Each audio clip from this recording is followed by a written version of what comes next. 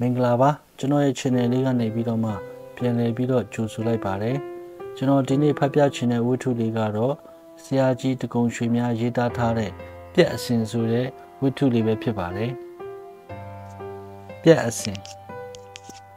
ကန်တိုကလေးတိုက်နယ်လူစီကားသောလန်တလန်၌မြန်မာရက်ကွက်တစ်ကွက်ရှိရာထိုနေရာတွင်ကုံသည်များနေပါ၍အစိုးရအရာရှိနှင့်လှခစာစာရေးစာချီကများလေသည် အရာရှိကတော်မင်းကတော်အစိုးရကတော်မှစ၍နောက်ဆုံးပလိတ်သားကတော်မင်းစေကတော်အထိမိမိတို့ကိုယ်တိုင်ငွေဝင်အောင်တစုံတရာလောက်ကင်နိုင်ခြင်းမရှိမိမိတို့လင်းယောက်ျားများ၏လဆာငွေဖြစ်သာတင်းတိမ်ရောက်ရဲကြပြီလင်မိသူယောက်ျားကလက်ခပူ၍ရသည်မိသူက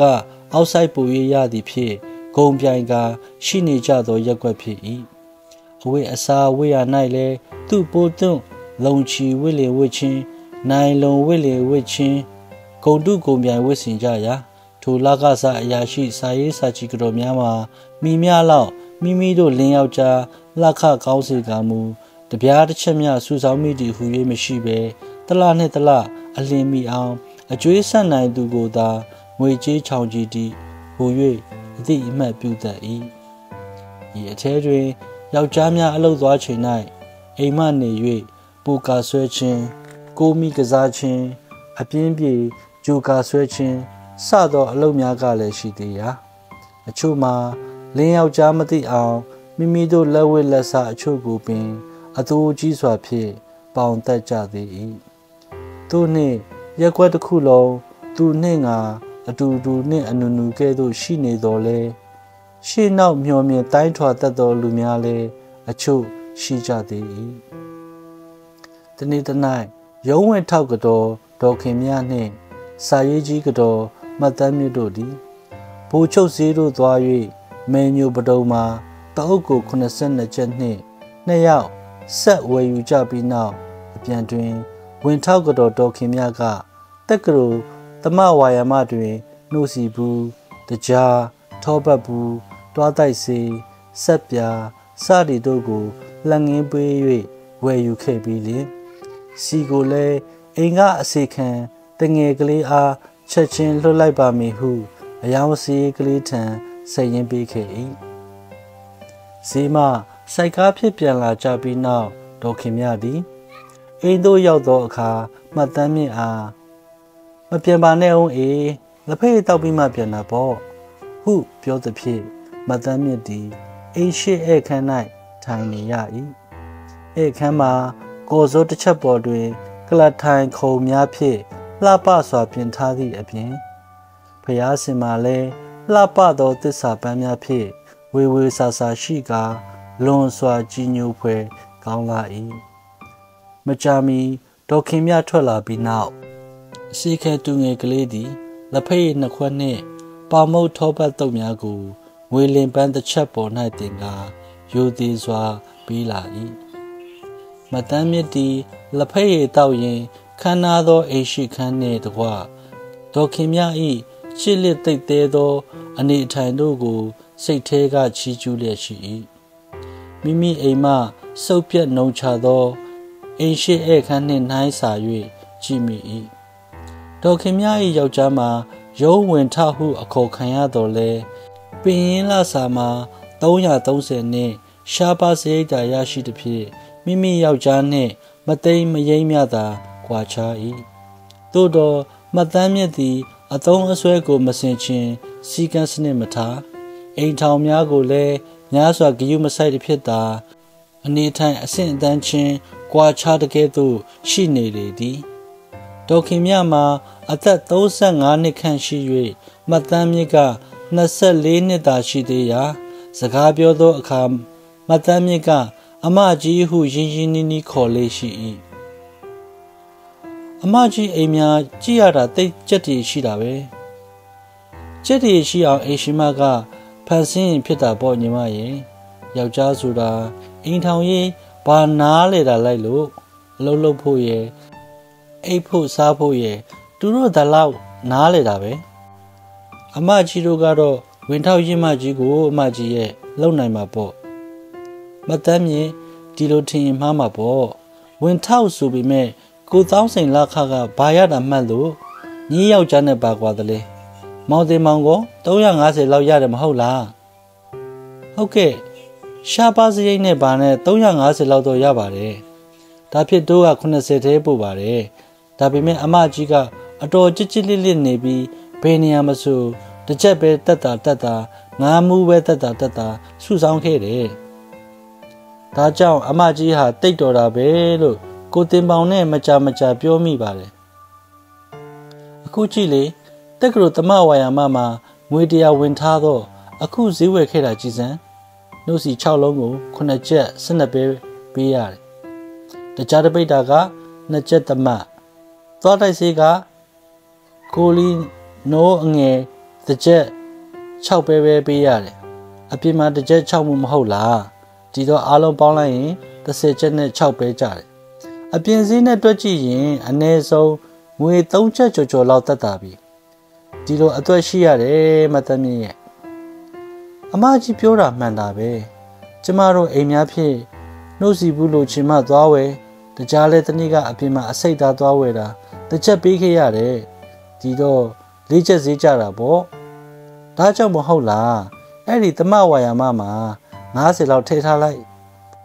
အကျိုးမြုပ်ပါဘူးတနစ်နေရင်ကြည်ပါတယ်ပြီးတော့တနစ်မှာအတတင်အမျက်စနက်ပေးရတဲ့အပြင်ဝယ်တဲ့ကုန်ဖိုးပေါချာတွေပေါ်မှာအားလုံးပေါင်းပြီးငွေတရားမှာ6ချက်လေးပဲနှုံပြန်ပြီးပေးသေးတယ်ဒါဖြစ်တဲပြီးနေရကြပါကလားအမကြီးရဲ့ဒါကြောင့်မတ်တမ်းမြစ်ကိုတိုက်သွင်းတာပေါ့ဒီလောက်ဝင်လိုက်ပါလားငွေမပိုသေးပါဘူးအမကြီးရဲ့ဝင်တော့ဝင်ချင်ပါတယ် ခိုင်းမတ်တမ်းမြစ်အမကြီးပဲပြောတဲ့စကားတစ်ခုနားထောင်စမ်းပါနားထောင်ပါမယ်အမကြီးရဲ့ပြောပါမတမ်းမြတို့အိမ်မှာပူကာဝိုင်းမထားပါနဲ့ချက်တည်လည်းမရှိဘူးလက်လည်းတိတ်တယ်ပြီးတော့တကယ်ဧကောင်းဆောင်ကောင်းလာလို့မှမသိတယ်ဘူးအမကြီးပြောတာမဟုတ်ဘူးလားစဉ်းစားကြည့်စမ်းဟုတ်တော့ဟုတ်ပါတယ်ကျမလည်းဝါသနာပါလာလို့တော့မဟုတ်ပါဘူးအမကြီးရဲ့အိမ်မှာလောက်ဆရာကိုင်းဆရာမရှိတာနဲ့ ပြင်းပြင်းရှိလို့လောက်ရကစပြီးအချင်းဖြစ်သွားတာပါပဲအေးလေဟုတ်ပါတယ်နှုတ်ပေမဲ့ပြက်အစဉ်ပြင်ခဏဆိုတဲ့စကားရှိသားပဲပြီးတော့တစ်ချက်နှစ်ချက်အပျော်ကစပြီးတော်တော်ကြာတော့90တရားကြီးကြီးဖြစ်သွားရောနောက်ဆုံးမှစီးပွားရေးကိုတကယ်ထိခိုက်ရင်လာရင် အသက်ကိုယ်တော်ရန်ရှာတတ်တယ်ဟုတ်ကဲ့ပြီးတော့လေအမကြီးပြောသလိုငွေကိုစူးစမ်းပြီးစုစမ်းပါဥပမာဝတ်သား90သားဝယ်မဲ့နေရာမှာ အစိတ်အဝက်အဝယ်တိုးပြီး၃ခါပေးမဲ့နေရာမှာနှစ်ခါပေးဒီလိုပေါ့ဘယ်နေရာမျိုးမဆိုတမတ်သုံးမှုကစပြီးချိုးချံရင်စုမိတာပေါ့ပြီးတော့ဒီနေ့ကစပြီးလှပေးယူတာတို့လက်ခပေါင်တာတို့ရှောင်းနိုင်သမျှရှောင်းလက်ငင်းဝယ်တော့မျက်နှာလည်းရှိတယ်ကိုစစ်ချင်တယ်လို့စစ်လို့ရတော့တတ်တာတာပေါ့အဲ့ဒါလို့အကွက်ရှိတော့ပတ်စံလဲပို့လာမယ်စိတ်လဲချမ်းသာရရတယ် အမကြီးပြောတာတိတ်မှန်တာပဲအမကြီးရဲ့อืมပါဇက်ကမှန်တယ်ပြောရင်လည်းမပြီးဘူးမသက်မြင့်လက်တွေ့လှုပ်ကြည့်မှဂျေဇူးခံစားရမယ်များများမဟုတ်ဘူးအမကြီးပြောတာ၃လထဲစမ်းကြည့်စမ်းပါကောင်းပါပြီအမကြီးရဲ့ဒေါခင်မြနဲ့တိကျွမ်းရသည်မှာအတော်ကြာပြီဖြစ်တော်လဲ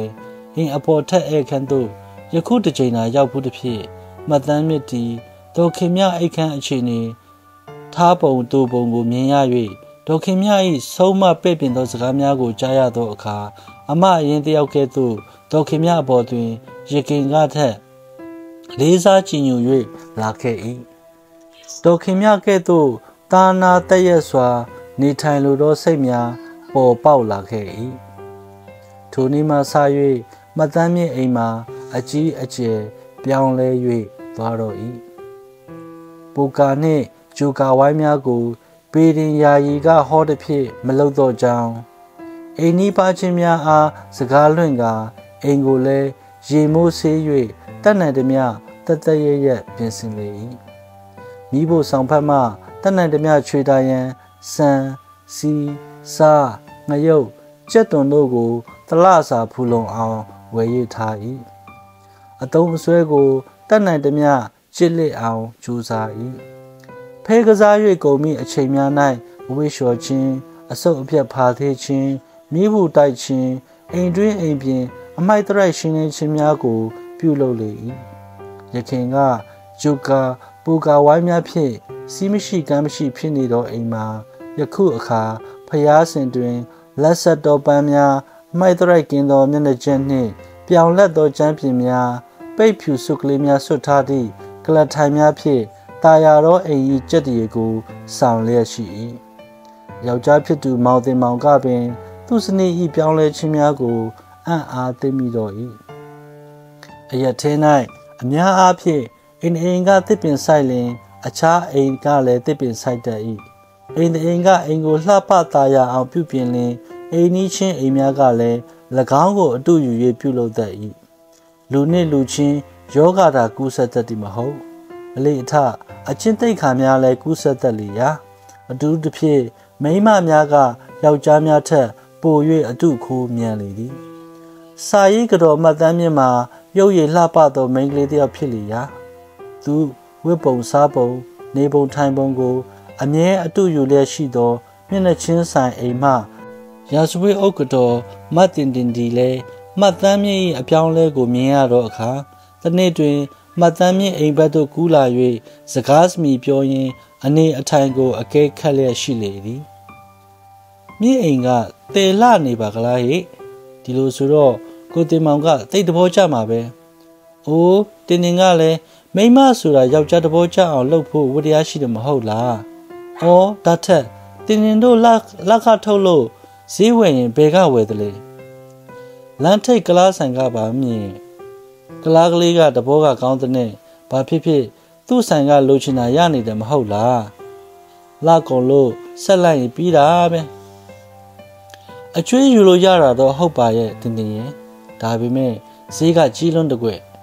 မြင့်ဖြစ်လမ်းထိတ်ကအမကြီးမက်ခင်များအားကြတာနဲ့အိမ်ကိုတတရရဖြစ်အောင်ထားအိမ်မှုကိစ္စတွေလောက်တင်တင်မြင်းတဲ့အတိုင်းပဲတနေ့တနေ့ဒီအလုပ်နဲ့ပဲရှုပ်နေတာပဲ ပြီးတော့လဲဈေးဝယ်တာအရင်ကထက်လို့အကျွေးမဝယ်တော့ဘူးအရင်ကအကျွေးဟောင်းကိုတဝက်ဆက်ပြီးတခါတည်းလက်ငင်းပေးပြီးဝယ်လိုက်တယ်ပြီးတော့လဲတက်ကရိုတမဝါယာမမှာငွေ90ဖို့အစုဝင်လိုက်တယ်တည်တည်ချာချာစဉ်းစားကြည့်ရင်တည်တည်ချာချာတက်တာတာပဲတင်နေရဲ့ဒါကြောင့်မို့မြင့်ဖြစ်မရှိမဲ့ရှိမဲ့ရွှေကြိုးကလေးရောင်းပြီးတခါတည်းအစုဝယ်လိုက်တယ် ဘယ်လိုသက်တာပုံလဲမြင့်ရဲ့ပြောစမ်းပါအောင်လက်ငင်းဝယ်ပြီးစားတာဟာဘယ်ခါမဆိုအကျွေးယူတာထက်သက်တာတယ်မဟုတ်လားဒီပေါ်သူတို့လက်မှတ်နဲ့ဝယ်ပြန်တော့အပြင်မှာဝယ်ရတဲ့ဈေးထက်ငွေစေချက်မှာအနည်းဆုံးတစ်ချက်၅မှတ်တော့တက်တာတာပဲတို့ဖြစ်မသမ်းမြစ်တီရာဇဝဲကိုတော်မတ်တင်တင်အားလက်ငင်းဝယ်ခြင်း၏အကျိုးကျေးဇူးနှင့်တကွအပြင်ဆိုင်များတွင်ဖြစ်ကြတဲ့ဆန်းဝယ်ယူရာ၌နစ်နာပုံများလက်လီကုံဆိုင်ရှင်များက လှဆိုင်အကျွေးယူသူများအပေါ်တွင် မတန်အတန်ဈေးတင်၍ရောင်းချပုံများကိုဒေါက်ခင်မြဟောပြောသည့်အတိုင်းပြောပြလေ၏မတန်းမြစ်ပြောသောစကားများမှာစိတ်ဝင်စားဖွယ်ကောင်းလာပေ၏တင်တင်လည်းနှက်ဖြန်ကစပြီးမြင့်ပြောသလိုဖြစ်အောင်စီမံတော့မယ်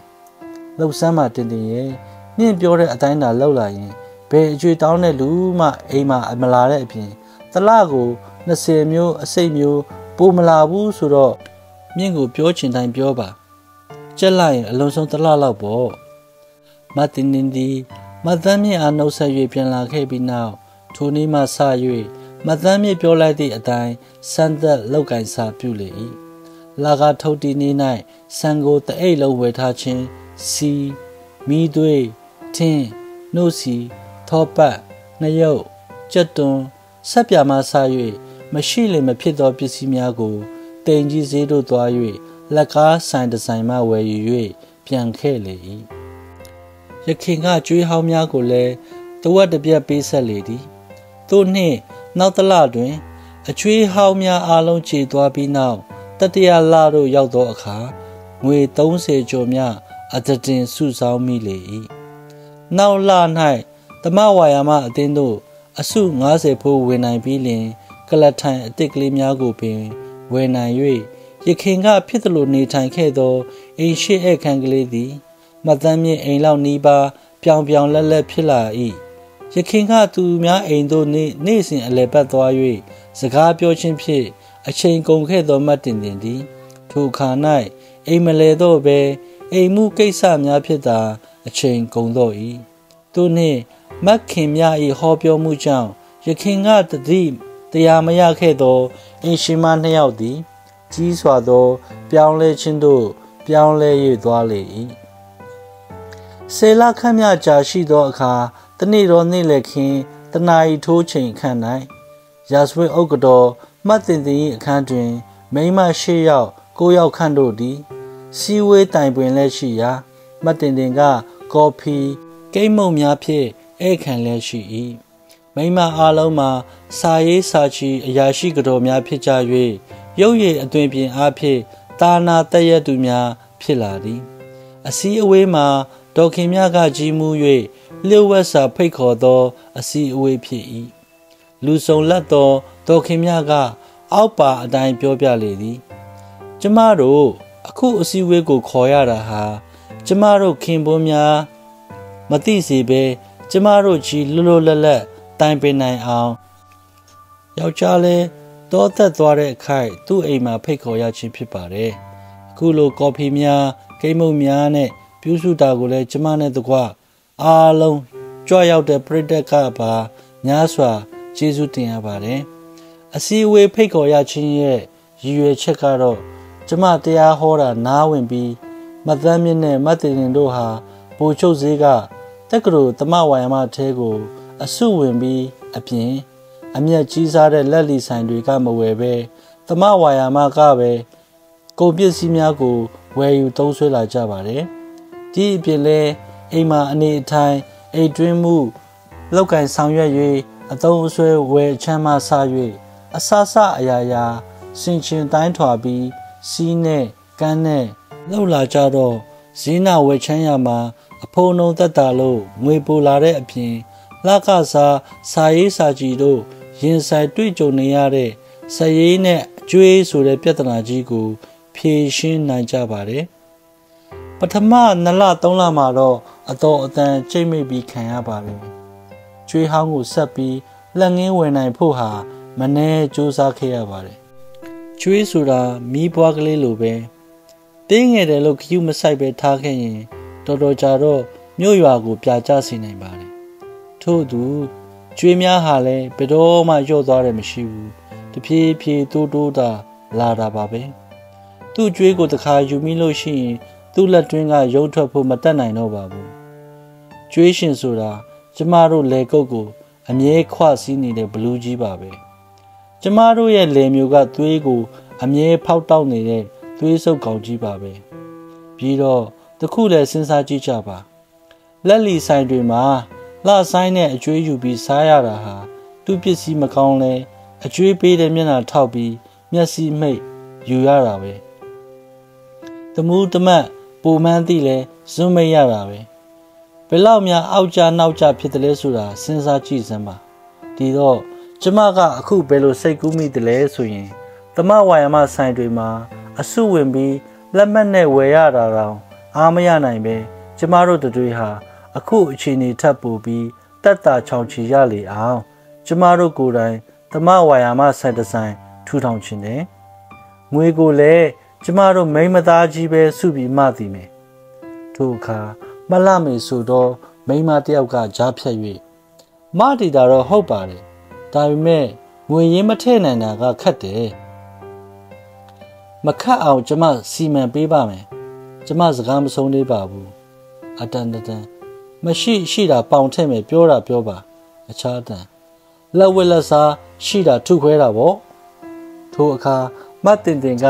စကားမဆုံးမီကျေးဇူးပြု၍စကားဖြတ်မပြောရန်တောင်းပန်ပြောဆိုလေရာဒေါခင်မြက သူ၏စကားကိုဆက်ပြန်လေသည်ကျမအစီအစဉ်ကဒီလိုပါ အခုကြွားရောက်လာတဲ့လူထဲကအိမ်တော်တစ်ခုဟာတနေ့ကိုပတ်စံ၅မူစုနိုင်ပါတယ် ဒီလိုဆိုရင်တလကို15ချက်စုဆောင်းမိမယ်ဒီတော့အစိတ်ရရောမဟုတ်လားလူတယောက်25ချက်ရရင် လူ10ယောက်ဆိုရင်150ချက်ရမယ်လူ10ယောက်အတွက်တယောက်30စီစိုက်ပြီးထည့်ဖို့ကျမကတာဝန်ခံတယ်အဲ့ဒီလိုတလ150စီရရင်တစ်နှစ်မှာငွေ3000ရမယ်တခြားကျမတို့စိတ်တူကိုယ်သူအသင်းဝင်မဲ့အသင်းသားများရှိရင်လည်းပြောကြပါ စုဆောင်းကြပါ နောက်တစ်နှစ်အကြာမှာကျမတို့ဆိုင်တဆိုင်ကောင်းကောင်းထူထောင်နိုင်ပါတယ်အခုကျမပြောတာသဘောကျရင်ဒီကနေ့ပဲအတင်းဖွဲ့စီမံအုပ်ချုပ်မဲ့အမှုဆောင်လူကြီးတွေရွေးချယ်ပြီးဒီကနေ့ပဲအလုပ်စားကြရပါလိမ့်မယ်သို့တော့တခုကျမပြောလိုတာက ကျမတို့အခုလုပ်မဲ့ကိစ္စကို ကျမတို့ခင်ပွန်းတယ်များ မသိစေချင်ဘူးနောက်အထမြောက်သွားတဲ့အခါကျမှ ကျမတို့မိန်းမသားတွေဟာဘယ်နေရာမဆိုယောက်ျားတွေလောက်စွမ်းဆောင်နိုင်တယ်ယောက်ျားတွေလောက်အရေးချင်းလောက်ရည်ကန်ရည်ရှိကြတယ်သူတို့လောက်ရှေ့ကိုအမျော်မြင်ကြီးတယ်ဆိုတာအံ့အားသင့်သွားအောင် ကျမတို့ကပြရမယ်အခုလောက်ပြောရင်သဘောပေါက်လောက်ပါပြီဒါကြောင့်ကျမပြောတာသဘောကျရင် အခုစတင်ပြီးဖွဲ့ဖို့ပါပဲဟုပြောကာစကားကိုနှိကုံချုပ်လေ၏ထိုအခါ အားလုံးကပင်ဒေါခင်မြပြောသည်ကိုတဘောမကြเสียမရှိကြောင်းဖြင့်ထောက်ခံကြပြီးလင်အဖွဲ့ဖွဲ့စည်းကြလေ၏အချို့ကလည်းဒေါခင်မြ၏အကူအညီမလိုဘဲတလလင်25ချက်ကြပါဝင်ထည့်သွင်းရန်တာဝန်ယူကြ၏တို့နှင့်အဖွဲ့ဖွဲ့စည်းရာတွင်ဒေါခင်မြကဥက္ကရာအဖြစ်ဖြစ်၎င်းမတ်တင်တင်ကအကျိုးဆောင်အတွင်ရေးမှုအဖြစ်ဖြစ်၎င်းပစ္စည်းဥစ္စာနှင့် အတော်အတန်ပြည့်စုံသူမင်းကတော်မှတ်ပုဆိုသူကငွေထင်းအဖြစ်ဖြစ်၎င်းမှတ်တမ်းမြင့်ကစော်ဩသူဖြစ်၎င်းဆောင်ရွက်ရန် အများတဘောသူရွေးကောက်ကြလေသည်အတွင်းရေးမှုက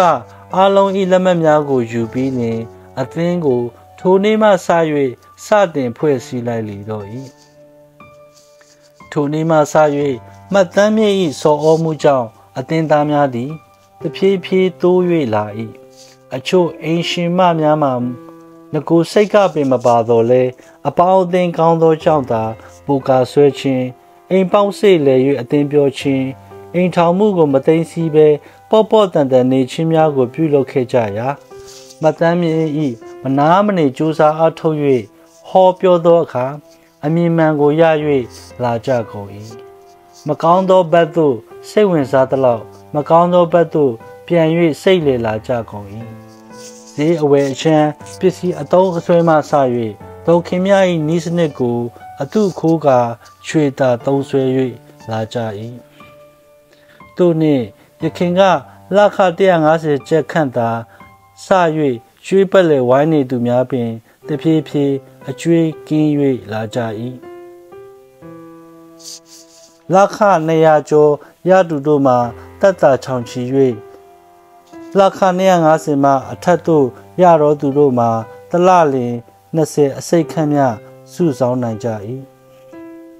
900ကျော်600ခန့်ရတူတို့မှာကားရွှေသွဲလဲငွေသွဲလဲပြီဖြစ်၍လာတော့၏ဤအချိန်များအတွင်း၌လဲဒေါခင်မြဦးစီးသော မိမတမဝါယာမအသင်ကြီးမှာငွေကိုတဖြည်းဖြည်းလှဆင်လှတိုင်းမှန်မှန်ကြီး စုဆောင်းလာနိုင်ပြီလင်လျှို့ဝှက်သောအသင်သားများသည်တဖြည်းဖြည်းတိုး၍လာတော့၏တိုးနှင့်ကိုလာကျော်ဆေလခန့်ကြာသောအချိန်တွင်ငွေ9000ကျော်ခန့်စုဆောင်းလာနိုင်ပြီးလင်လျှို့ဝှက်သောအသင်သားများသည်တဖြည်းဖြည်းတိုး၍လာတော့၏အသင်သားများမှာမိမိတို့ခင်ပွန်းတယ်များအားအတိမပေးဘဲလွန်စွာတေဝုတ်ပြပြပြီးလင် ငွေများကိုအကျိုးဆောင်အတင်းရင်းမှုမတ်တင်တင်ကလျှို့ဝှက်စွာစုဆောင်းပြီးလင်ငွေထိန်မပူဤလက်တို့အပ်၏မပူကမသစဉ်စာတိုက်တွင်စုဆောင်းလေသည်ဤတို့ဖြင့်အချိန်ဒီတဖြည်းဖြည်းကုန်၍လာရာတနည်းနည်းနလခန့်ကြာသောအခါငွေတထောင်ကျော်ကျော်မြရရှိလာ၏တနေ့၌ပဲခူးသွားဘတ်စကားနှစ်စီးပေါ်တွင် ရွှေမော်တော်ဖျားသို့ ဖျားဖူးသွားရောက်သည့်မိမကြီးငယ်30ခန့်ကိုတွေ့မြင်လေသည် သူတို့ကဒေါခင်မြကြီးမှုသောလျှို့ဝှက်စွာငွေများစုဆောင်းလျက်ရှိသည့်ငွေစုတင်းမှအတင်းသူများဖြစ်လေသည်ဒေါခင်မြတို့ကဖျားဖူးရန်တသက်တာမဟုတ်လက်ဥသူရန်လဲလာရောက်ကြခြင်းဖြစ်လေသည်ဖျားများလှဲ့လေဖူးကြ၍နနတ်စာကိုပျော်ရွှင်စွာစုယုံစားတောက်ကြပြီးတော့ အတော်အတန်လူပြက်လက်သောတစောင်းတစ်ခုတွင်စုယုံမိကြ၏ထုံးစံအတိုင်းဒေါခင်မြအားအစည်းအဝေးတဘာပတိတင်မြောက်ပြီးတော့ရှေးဥစွာ အသွင်းရေးမှုကအတင်းသားတယောက်စီဤစူဆောင်ရရှိငွေအလုံးပေါင်းစုမိသောငွေစာတိုက်နှစ်တိုက်တွင် ခွဲ၍အပ်ထားသောငွေငွေထိန်လက်၌ရှိသည့်ငွေမိမိလက်ထဲတွင် အသေးဖွဲ300ထားရှိသည့် ငွေစင်းများကို တွက်ချက်ရှင်းပြရလေသည်ထို့နောက်ဥက္ခရကမိမိတို့အတင်သားများသည်ရွှေသာသုံးဆွဲသည့်စနစ်ကိုမသည်ကမိမိတို့နေ့စဉ်အသုံးစရိတ်ထဲမှတလလင်အနည်းဆုံး25ကျပ်မှအများဆုံး90ကျပ်အထိစုဆောင်းလာကြရာယခုအချိန်တွင်လက်ထဲ၌ငွေတောင်းကျော်များပင်ရှိနေပြီဖြစ်၍ကုံစုံစံဒီဇိုင်းကိုခန္ဓာတရက်စွာ တည်ခင်းနိုင်ပြီဖြစ်ကြောင်းယခုနေ့ထိအသင်းဝင်မိမ31ယောက်ရှိနေပြီဖြစ်၍ဤအသင်းကိုစနစ်တကျတည်ထောင်နိုင်ရန်မိမိ၏အကိုတဝမ်းခွဲတော်ဆက်သူ ရှေးအင်္ဂလိပ်ခေတ်ကတမဝါယာမဝန်ထောက်ဟောင်းတူအားစီမင်းရေးဆွဲပေးရန်တိုင်ပင်ပြောဆိုပြီးဖြစ်ကြောင်းမူလတီထောင်မတီတူများမှာမိမချင်းဖြစ်၍ဤအတင်းကို Lady Kungo ဟု၍ အမိပေးမိဖြစ်ရာနောင်ဆိုင်ဖွင့်ပြီးနောက်အစုရှယ်ယာများခေါ်သောအခါ၌လည်းမိမတီထောင်သည့်အသင်းဖြစ်၍မိမများကိုပို၍အခွင့်အရေးပေးမိဖြစ်ကြောင်းဆိုင်ဖွင့်ပြီးသည့်နောက်နောက်ထပ်အစုရှယ်ယာများစုဆောင်းသည့်အချိန်ထိ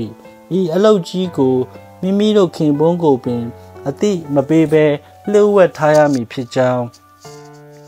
ဤတို့ပြုလုပ်ထားခြင်းအဖြစ်ဆိုင်ဖြစ်ထွန်း၍ ကြီးပွားလာသောအခါမိမများသည်ယောက်ျားများကဲ့သို့သမဝါယာမလုပ်ငန်းကိုဆွမ်းဆွမ်းတမန်ဆောင်ရွက်နိုင်သည်ကိုပြလျက်မိမိတို့လင်သားများကိုအံ့အားသင့်၍သွားအောင် ပြုလုပ်ရမည်ဖြစ်ကြောင်းစသဖြင့်အကျေတဝင့်ပြောဆိုလေ၏ထိုအခါမတ်စောတင်ဆိုသူစရေးကတော်ကလေးတယောက်က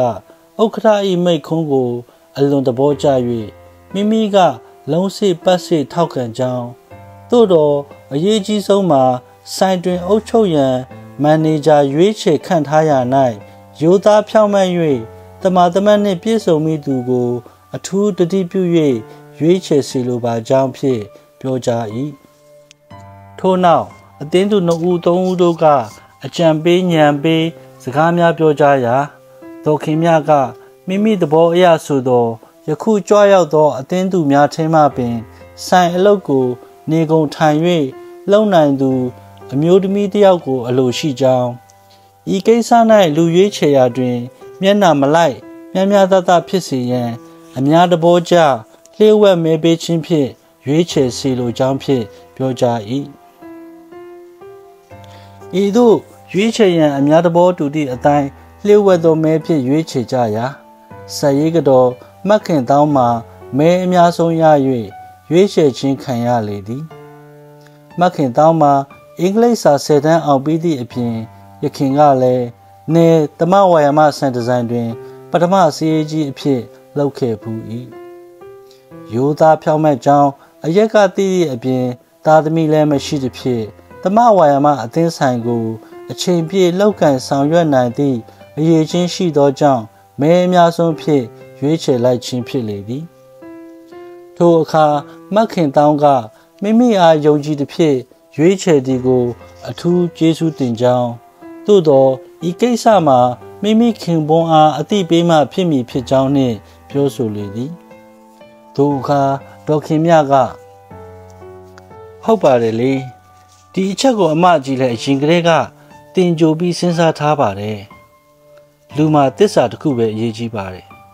မှတ်ခင်တောင်းဟာဒီအကြောင်းကိုကိုညွတ်ဖေကိုရေးရေးလဲလဲပြောပြပြီးတိုင်ပင်နိုင်ပါတယ်အဆုံးမှာကိုညွတ်ဖေနဲ့မှတ်ခင်တောင်းတို့နှစ်ယောက်က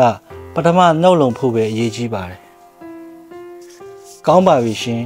ကျမကျေးဇူးတင်ပါတယ်အချိန်မတိုင်ခင်ဘ ᱹ ကုံမြ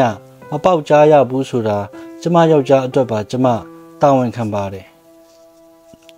ထို့နောက်စရေးမလေးတယောက်နှင့် ကုန်များချိန်တွေရောင်းရန်တူငယ်မတယောက်ကိုရွေးချယ်ကြပြန်၏နောက်ဆုံးတွင်လက်သူလက်တောင်းအကျန်းခိုင်းရန်ယောက်ျားကလေးတယောက်လိုအပ်၍ဤကိစ္စကိုနောင်မှမန်နေဂျာတဘောအတိုင်းရွေးချယ်ခန့်ထားရန်ဆုံးဖြတ်လိုက်၏ထို့နောက်ဆိုင်နေရာရရှိရေးဗဟုသမဝါယမနှင့်ဆက်သွယ်ရေးပန်တွင်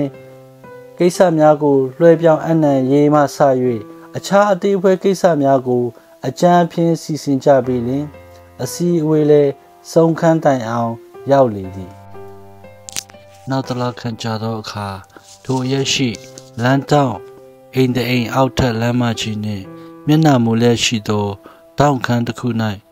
Ladies Congo ဟူသောအမည်ဖြင့်အသောပင်သားနာတက်ရသောဆန်ဒီဇိုင်ကို တွေ့မြင်ရ၏တစုလင်တကြကြနှင့်လူတယောက်လင်အ ਨੇ ဆုံး ဆယ်စု အများဆုံးအစုတရာဝင်နိုင်ကြောင်းကြေညာပြီးလင်မက်ခင်တောင်းကအစုများကိုလက်ခံလျက်ရှိလေသည်ဆိုင်မှာပြင်ထောင်သွတ်မိုးအိမ်ပင်ဖြစ်တော်လဲအတွင်း၌တင်မောစီများတုတ်က showcase ခေါ်အလှပြဘီရိုများနယံကက်ဘီရိုများမန်နေဂျာအခန်းစာရေးရောင်းသည့်ကောင်တာအပေါက်လက်လီကုံချိန်သည့်နေရာဝယ်သူများခိတထိုင်ရန်တန်လျာရှိနှင့် ကလထိုင်များဖြင့်တာနာတက်ရစွာ ပြင်ဆင်ထားရှိ၏ရောင်းချသည့်ကုန်ပစ္စည်းများမှာလည်းနေ့စဉ်အိမ်သုံးပစ္စည်းများသာမကစေဝါအမျိုးမျိုးအလှကုန်ပစ္စည်းအမျိုးထီဖနက်လွယ်အိတ်ကလေးကစားစရာအိုးခွက်တန်ကရိယာအချို့မှစ၍စုံနေသည်မြစုံလင်အောင်ထားရှိ၏အဖိုးဆာနာ၌လည်းအခြားသမဝါယာမဆိုင်ကြီးများတွင် ရောင်းချသည့်ဈေးနှုန်းအတိုင်းရောင်းချနိုင်ရာ လက်မှတ်များထုတ်ပေး၍ပစ္စည်းဝေငှရာ၌လည်းမျက်နှာကြီးငယ်မလိုက်မှန်ကန်စွာဝေငှ၏အထူးသဖြင့်အပြင်မှောင်ကိုဈေးတွင်ဈေးကြီးပေး၍ဝယ်မှရမည့်နှုတ်စီတကြားစီစသည့်ပစ္စည်းများကို အတိအကျစည်ရင်းလုပ်ပြီးလျှင်မန်နေဂျာကိုယ်တိုင်လက်မှတ်တွင်ပါသည့်စည်ရင်းအတိုင်းဥစ္စာရှင်၌ရမရကိုစစ်ဆေး၏သို့နှင့်၃လခန့်ကြာလက်သော ဈေးသက်သာသည်ကုန်ပစ္စည်းမှန်မှန်ရသည် အချိန်မှန်သည် မျက်နှာလိုက်ခြင်းမရှိဟူသောနာမည်တဖြည်းဖြည်းထွက်လာလျက်အစုများကိုမရမကဝယ်ကြ၏ရောင်းရတွင် ရောင်းသူတယောက်နှင့်မလုံလောက်သဖြင့်နောက်ထပ်အယောင်စရေးတယောက်နှင့်စီရင်ကင်ငွေထင်းတယောက်ကိုအာမခံယူ၍အသစ်ခတ်ထားရ၏ထိုအခါအယောင်စရေးများမှလည်းလက်မလဲနိုင်အောင်ရှိပြီးလင် ရောင်းရငွေမှာလည်းတစ်နေ့လင်တထောင်ကျပ်မှ1500ကျပ်အထိရ၍လာတော့၏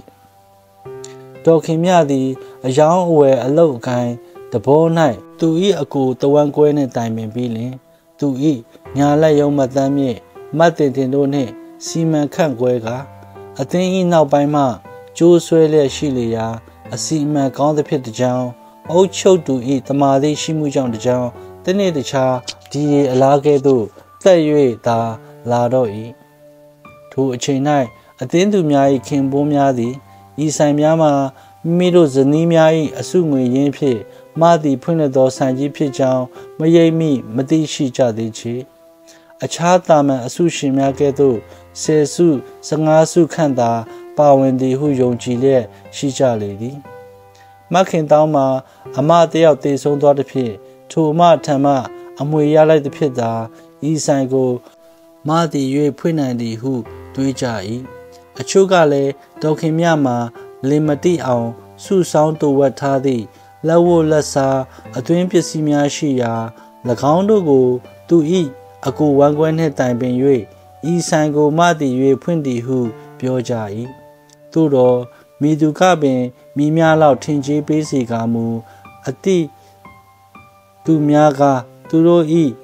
လျှို့ဝှက်ချက်ကိုထိုအချိန်ထိတစွန်းတစားများမပေါက်ကြားအောင်ထိန်းသိမ်း၍ထားနိုင်ကြလေသည်တနေ့တ၌ဥက္ကဋ္ဌဒေါခင်မြထံသို့လျှို့ဝှက်သောတိုင်စာတစ်စောင်ရောက်လာ၏ထိုစာမှာအောက်ပါအတိုင်းဖြစ်လေသည်ထမမကင်တောင်းမန်နေဂျာ Lady Kunkos ရိုဒေစွာအစီရင်ခံပါသည့်ဥက္ကဋ္ဌကြီးရှင်အကြောင်းမှာ ယမန်နေ့ကဆိုင်တွင်မမျော်လင့်သောအကြောင်းတစ်ခု ဖြစ်ပေါ်လာပါသည်အယောင်စည်ရေးမှမစောရင်သည် အဆုရှင်တို့အားနှုတ်စီပူဆန္ဒလုံးပေးရမည့်အစားသုံးလုံးပို့၍15ဘူးပေးချောင်းကို ကျမကိုယ်တိုင်ဖမ်းမိပါသည်စရင်ကိုချက်ချင်းစစ်ကြည့်ရာမနှဲ့ဆိုသူမိမကမဝဲသဖြစ်ပို့နေကြောင်းတွေ့ရပါသည်မနှွဲနှစ်လည်းကျမတွေ့ဆုံပြီးပါပြီတပတ်လင်ဆိုင်၌ နှုတ်စီပူအလုံး20 25လောက်ခန့်အပတ်စဉ်ပို၍နေရာကျမတဘောအတိုင်းမရှိစင်းရဲ၍အဆုမဝင်နိုင်သေးသူများအားတအိမ်လင်တလုံးကြကျမဝေ၍ရောင်းပါသည်ဤကိစ္စကိုယခုညကျမအိမ်၌ဆုံးဖြတ်ပေးစီလိုပါကြောင်းပုံခင်တောင်းထိုည9နာရီအချိန်၌မက်ခင်တောင်းအိတ်ခမ်းတွင်ဥက္ကဋ္ဌဒေါခင်မြ အကျိုးဆောင်မတ်တင်တင်စောဩသူကော်မတီမှတ်တမ်းမြင့်ငွေထိန်မင်းကတော့မတ်ပူတို့ပါစုဝေးရောက်လာကြ၏တရားခံမစောရင်ကိုတိုင်လဲမန်နေဂျာအမိန့်အရခေါ်ထားသဖြင့်ရောက်ရှိလျက်ရှိရာကြောင်တကြောင်တွင် မျက်နှာအောက်ချကမျက်ရည်များဝဲလျက်ရှိ၏ဒေါခင်မြကမက်ခင်တောင်း၏တိုင်ချက်ကိုဖွင့်ချပြီးနောက်မက်ခင်တောင်းကမိမိတွေ့ရှိပုံကိုခရီးစစ်ရတွင်းကြပြောပြလေသည် ထိုအခါဥက္ခရတော်ခင်မြကမစောရင်ဘက်သို့လှည့်၍ဘဲနဲ့လည်းမစောရင်ဘာများစောတကတက်ချင်သေးသလဲမက်ခင်တောင်းပြောတဲ့အတိုင်းမှန်တယ်မဟုတ်လားမှန်ပါတယ်ဥက္ခရကြီးရှင်ဒါပေမဲ့ကျမနောင်တရပါပြီကျမဒီလိုလောက်ရတာဟာအင်မတန်ရှက်စရာကောင်းတယ်ဆိုတာတွေးတိုင်းတွေးတိုင်းယူကျုံမရဖြစ်မိပါတယ်မှန်တော့ကျမမှာလက်ခတရားနဲ့မစားလောက်လို့ဒီလိုလုံးမိတာပါပဲ ကျမမှာမုတ်ဆိုးမကလေးနှစ်ယောက်မျက်မမြင်အမေအိုကြီးအပြင်မောင်ကလေးတယောက်ကိုလည်းကြောင်းလက်ခထောင်းရပါလိမ့်မယ်ကောင်းပြီကောင်းပြီဒီလောက်ပြောရင်အမကြီးသိပါပြီဒီတော့ညီးတစ်ခုစဉ်းစားကြည့်စမ်းညီးလောက်တဲ့အပြစ်ဟာတာမန်ကြည့်ရင်နှုတ်စီသုံးလုံးပတ်စံကလေးသုံးမှတ်ဘာမှဖြစ်လောက်တာမဟုတ်ဘူးဒီဆိုင်ရဲ့အကျိုးစီးပွားကိုလည်းဘာမှထိခိုက်စရာမရှိဘူးဒါပေမဲ့ညီးရဲ့အတုကို တိပြင်လူကခိုးပြီးဆိုင်တွင်းပစ္စည်းတွေကိုအခုလိုမတရားတဲ့နီးတွေနဲ့ထုတ်ဖို့ညီးလောက်တာဟာလမ်းကြောင်းပြတာနဲ့အတူတူပဲဒါကြောင့်ညီးကိုတနာပေမဲ့ဒီအပြစ်ကိုဘယ်နည်းနဲ့မှချမ်းသာမပေးနိုင်ဘူးတနာပေါင်အမကြီးရဲ့ကျမကိုတနာတောင်မျက်စိမမြင်တဲ့အမေအိုကြီးနဲ့ကလေးတွေမျက်နှာကိုထောက်ပါအောင်အမကြီးရဲ့တနာတော့တနာပါတယ်ညီမရဲ့ ဒါပေမဲ့မတတ်နိုင်ဘူးအလုတ်ဝတရားဟာအလုတ်ဝတရားပဲဒီတော့အမကြီးစိတ်ကိုပိုင်းဖြတ်ပြီးပြီအမှန်လို့ဖို့ကတော့အလုတ်ရှာဖို့လက်ခတလအတွက်အပူပေးပြီးအလုတ်ကထုတ်ပစ်လိုက်ရုံပဲရှိတယ်ဒါပေမဲ့ဒီလိုပြစ်မှုကျူးလွန်တဲ့အတွက်နောက်မှတ်လောက်အောင်အပြစ်ပေးရလိမ့်မယ်လက်ခထဲကဒဏ်ငွေ90ဖြတ်တယ်ဒါဟာညီမကိုတနာတဲ့အတွက်ပေးတဲ့အသေးဆုံးအပြစ်ဒဏ်ပဲဖြတ်ပါအမကြီးရဲ့ အမကြီးတဘောတိုင်းတာဖြတ်ပါအမကြီးပေးတဲ့အပြစ်ဒဏ်ကိုကျမခံဖို့အသင့်ရှိပါတယ်ကျမကိုအလောက်ကထုတ်မပစ်ဘူးဆိုရင်ပဲကျေးဇူးတင်လာပါပြီအမကြီးရဲ့ဂိုင်ဂိုင်သွားပြီတော့မမားမိတဲ့လူဆိုတာမရှိဘူးပေါ့အချိန်များတဖြည်းဖြည်းကုန်လွန်၍လာရာရခင်ကငွေစုဆောင်၍မတိခဲ့သောအသင်းသူများ၌ငွေကိုပင်မစုံရစေကမူချွေသာသုံးဆွဲသည့်စနစ်ကြံရစ်ခဲ့၏ တနေ့တ၌မက်ခင်များသည်မိမိ၏အမှုဆောင်အသင်းသူအချို့နှင့်တိုင်ပင်ကမန်နေဂျာမက်ခင်တောင်းအားဆိုင်မစည်းရင်များအားလုံးကိုရှင်းလင်း၍အမျက်များကိုတွက်ချက်စီပြီးတော့အဆုရှင်များအားဧခံမိတ်ဆက်သည့်ပွဲကိုပြုလုပ်လေ၏တနေ့တော့ညနေခင်းတွင်ဆိုင်ရှိရှိမြက်ခင်းများပေါ်၌လက်ဖက်ရည်စပွဲများကိုချထားကာဆိုင်တလုံးကိုလည်းအလံကလေးများမိပုံများတမီလုံးများ ပန်းများတိရွက်စိမ်းများဖြင့်လှပစွာတစားဆင်ထားစေ၏အဖြူရောင်အပြာဆလွယ်များဝတ်ဆင်ထားသည့်ဘွိုင်ကလားများသည်လက်ဖက်ရည်ကိတ်မုတ်အိုက်စခရီမ်များကိုချထားလျက်ရှိရာတာယာညိတ်ညောင်းသော သူရိယာတန်များသည်လည်းမနီးမဝေးအရမတီးမှုတ်လျက်ရှိလေသည်ပိုးဖဲကတိပါများဖြင့်တောက်ပစွာဝစ်စင်ထားသည့်ပရိသတ်များလည်းတဖွဲဖွဲရောက်လာစေဖြစ်၏ အားလုံးပရိသတ်များဆုံလင်သောအခါဆိုင်အုပ်ချုပ်ရေးမှူးမက်ခင်တောင်းကစည်ရင်များကို ရှင်းလင်းပြပြီးလင်ဆိုင်တွင်းရှိကုံလက်ကျန်ဗန်တိုင်း၌ထားသောငွေခွဲမပေးရသေးသော အမျက်ငွေမှစ၍တွက်ချက်ပြသ၏နောက်ဆုံး၌ဤအသင်းဆိုင်ကြီးကိုစတင်တည်ထောင်ခဲ့သောသူများအကြောင်းကို ကျမတို့အသင်းဥက္ကဋ္ဌတော်ခင်များက ရှင်းလင်းပြောပြပါလိမ့်မည်ဟု စကားကို အဆုံးသတ်လိုက်၏ ထိုအခါတော်ခင်မြတ်ကမတ်သက်ရ၍ကြွလာသောပရိသတ်များအားကျေးဇူးတင်စကားပြောပြီးလင်ဤအသင်းကြီးကိုပထမဆ၍တည်ထောင်ခဲ့သည်မှာနှစ်နှစ်ရှိပြီဖြစ်၍အသင်းဆိုင်ကိုဖွင့်လှစ်ခဲ့သည်မှာယခုနှစ်6လတိတိရှိပြီဖြစ်ကြောင်းစတင်တည်ထောင်ခဲ့သူများမှာယောက်ျားများမဟုတ်မိန်းမများချီးတာဖြစ်၍စတင်တည်ထောင်ခဲ့ရတော့ငွေမှာလည်းလုံးလုံးခက်ခဲရသည်မဟုတ် အေရှင်မများစွာတို့ကမိမိတို့ခင်ပွန်းတယ်များကို အတိမပေးဘဲမိမိတို့အိမ်သုံးစရိတ်နေ့စဉ်ဈေးဘိုးထဲမှရွှေသာစုဆောင်၍လာခဲ့ရာ